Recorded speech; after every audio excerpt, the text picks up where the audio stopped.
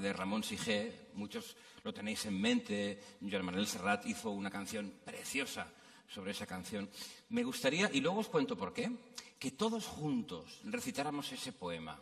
Como sé que es mm, complicado y a estas horas de la noche a uno puede olvidársele determinado verso, le he puesto aquí en, en la pantalla y todos juntos, cual si fuese un karaoke, la vamos a recitar. Una música bonita, por favor, de esas que en la radio se ponen para leer poemas y todos a la vez. Venga, conmigo.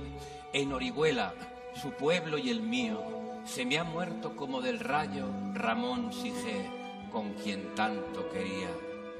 Yo quiero ser llorando el hortelano de la tierra que ocupas y estercolas, compañero del alma tan temprano. Un manotazo duro, un golpe helado, un hachazo invisible y homicida, un empujón brutal te ha derribado.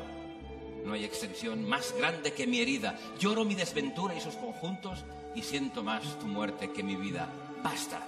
¿Por qué he puesto esto? Lo he puesto porque la radio, que es maravillosa, últimamente está como de, de mala leche se habla de problemas, los invitados se enfadan unos con otros, los contertulios siempre llenos de razón insultan al otro, hay como un clima chungo de mal rollo y me gustaría poetizar la radio. Me gustaría convertir este poema maravilloso en una pieza radiofónica. Para ello necesito dos locutores, no hace falta que sean buenos, ¿eh? Dos locutores que estén por aquí. No sé si hay algún locutor. Hay un par de locutores buenos. A ver. Ahí está Gabilondo. Va, me valdría. Josep Cuní. Va, no estaría mal. Suban, por favor. Gabilondo y Josep Cuní.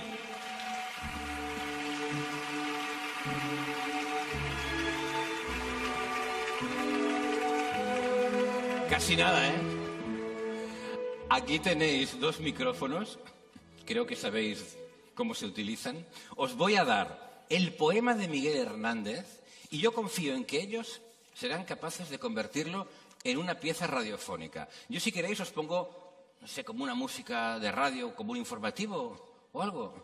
¿Lo, lo convertís en un informativo este poema? ¿Seréis capaces? Yo sé que sí. Si tú puedes. Vale, os pongo la música y os, y os doy paso. ¡Música!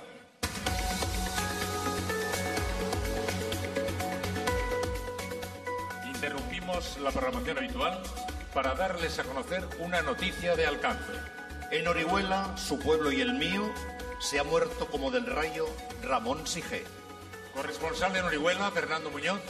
Yo quiero ser llorando el hortelano de la tierra que ocupa Siestercolas, compañero del alma tan temprano. Ha declarado un Miguel Hernández visiblemente triste y ha añadido, alimentando lluvias, caracolas y órganos mi dolor sin instrumento, a las desalentadas amapolas daré mi corazón por alimento. Todo parece indicar que un manotazo duro, un golpe helado, un hachazo invisible y homicida, un empujón brutal, lo ha derribado. Y allí, en el lugar del suceso, se encuentra ahora mismo nuestra compañera Sonia Rello, atenta a lo que ha ocurrido. No hay extensión más grande que mi herida. Lloro mi desventura y sus conjuntos y siento más tu muerte que mi vida, ha declarado uno de los amigos del fallecido que afirma además andar sobre rastrojos de difuntos y sin calor de nadie y sin consuelo ir de su corazón a sus asuntos. Les estamos contando lo sucedido en Orihuela, donde temprano levantó la muerte el vuelo, temprano madrugó la madrugada y temprano está rodando por el suelo Ramón Sige. Nuestro compañero Gregorio Álvarez ha presenciado un acto desesperado y allí ha estado la SER, como no podía ser menos.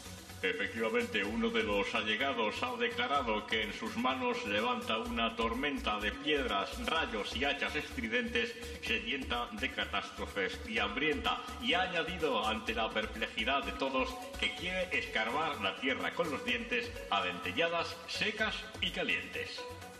Pues nada más, les mantendremos informados de esta y de otras noticias en sucesivos boletines informativos. Porque ya saben que si algo pasa, allí está la SER. ¡Gracias! Os amo. Os